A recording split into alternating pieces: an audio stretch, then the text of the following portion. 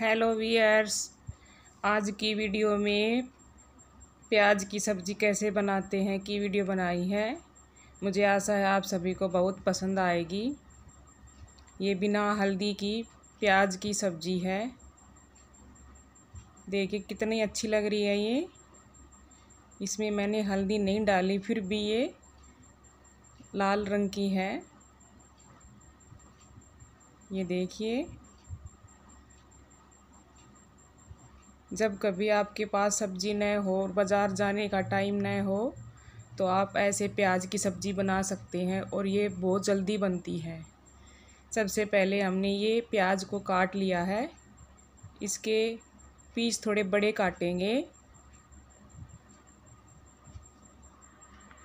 ये देखिए, ये चार या पाँच प्याज हैं ये। ऐसे इसको साफ़ काट के धो के मैंने तैयार कर लिया है। अब ये मैंने दो चम्मच खाने वाली चम्मच से दो चम्मच तेल नापा है ये, यानी आधी कड़छी। गैस के फ्लेम को धीमा रहने देंगे।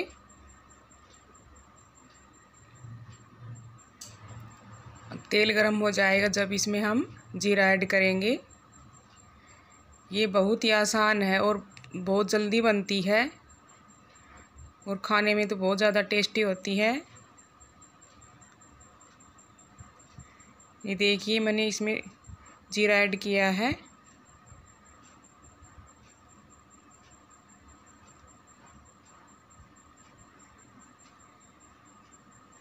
धीरे धीरे इसको ऐसे चला के देखेंगे।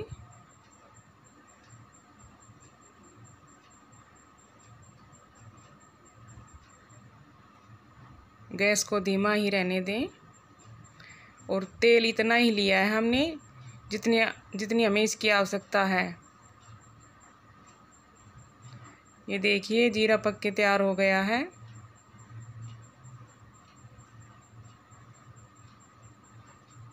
अब इसमें हम ये कटी हुई प्याज ऐड करेंगे।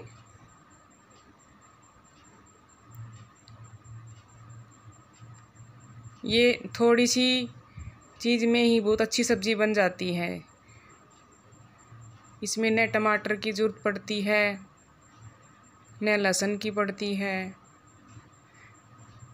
सिर्फ़ अकेली प्याज की ही सब्ज़ी है ये।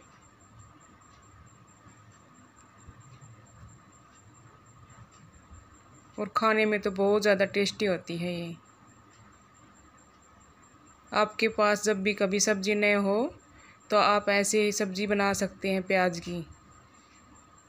और इसमें आठ या दस मिनट लगेंगी।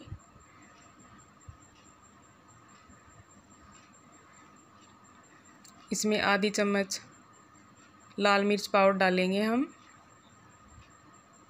और आधी से थोड़ी सी ज़्यादा नमक डालेंगे इसमें चम्मच।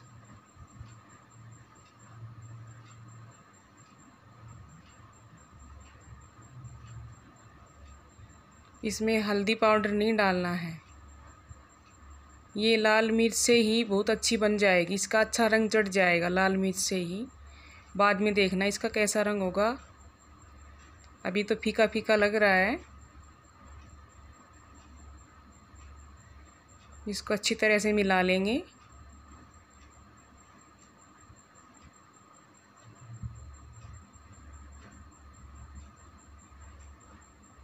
ये देखिए, इसमें अच्छी तरह से हम कड़छी चला के अब इसको ढक के रखेंगे हम इसको। एक या दो मिनट के बाद फिर चेक करेंगे। गैस को धीमा ही रहने दें।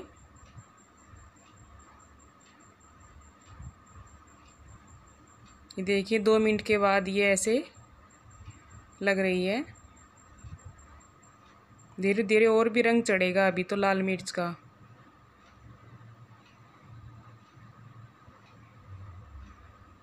अब इसको थोड़ी देर और पकाएँगे हम। दो तीन मिनट और पकाएँगे अभी इसको।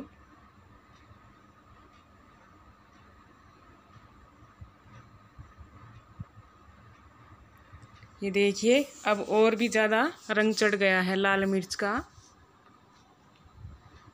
हमने इसमें हल्दी पाउडर नहीं डाला है, फिर भी देखो इसका रंग कैसा लाल हो गया है।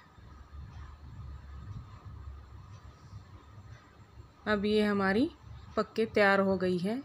ये देखिए। शुरू में तो बहुत ज़्यादा लग रही थी, अब ये थोड़ी सी हो गई है पकने के बाद।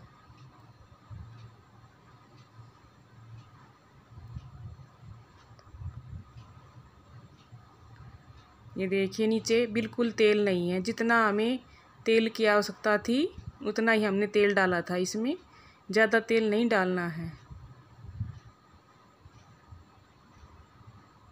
ये देखिए, ये पक्के तैयार हो गई है। अब मैं इसमें प्लेट में डाल के दिखाऊँगी आपको इसका रंग।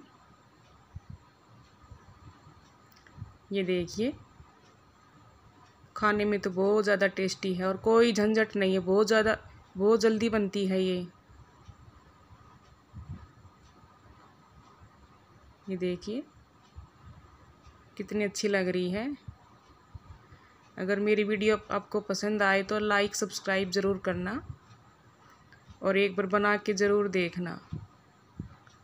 एक बार बना लिया तो आप इसको बार बार बनाएँगे ऐसे ही।